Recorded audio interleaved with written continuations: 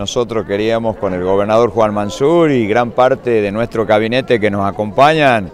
estar acompañando en este momento al intendente Roberto Sánchez, pero fundamentalmente a los vecinos de este hermoso barrio de Vialidad, donde con gran esfuerzo el señor intendente está dejando inauguradas obras de infraestructura importantes que tienen que ver con un pavimento adoquinado, que tiene que ver con cordón cuneta, que tiene que ver con un alumbrado nuevo de última tecnología. Valoramos mucho el esfuerzo del señor intendente, como él lo ha reconocido, con recursos propios que contribuyen los habitantes de esta hermosa ciudad de Concepción, pero además con los aportes mensuales que gira el gobierno provincial, él ha podido no solo mantener la paz social pagando los sueldos en tiempo y forma en Concepción, no solo ha podido pagar los incrementos y las cláusulas gatillo correspondientes a sus empleados públicos municipales, sino que también el intendente hoy con un gran esfuerzo está haciendo obras de infraestructura para mejorar la calidad de vida de los vecinos de Concepción. Fondos que obtenemos de, de rentas municipales y los fondos que obtenemos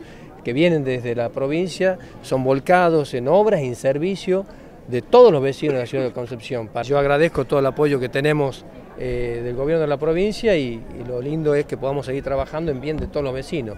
Eh, sean de un partido o sean de otro, los vecinos necesitan respuesta y nosotros le estamos dando. Esto es lo que buscamos, coordinar esfuerzos, trabajar en forma, en forma conjunta para darle respuesta a los vecinos. Y esta es una obra fantástica, una obra que se hace en suelo tucumano, en la Perla del Sur, acá en Concepción. Agradecerle al señor Intendente por esta deferencia, por esta invitación. Con el gobernador hemos querido estar presentes porque valoramos el trabajo, valoramos el esfuerzo y sabemos lo que significa administrar las finanzas públicas en momentos difíciles que hoy vive la República Argentina.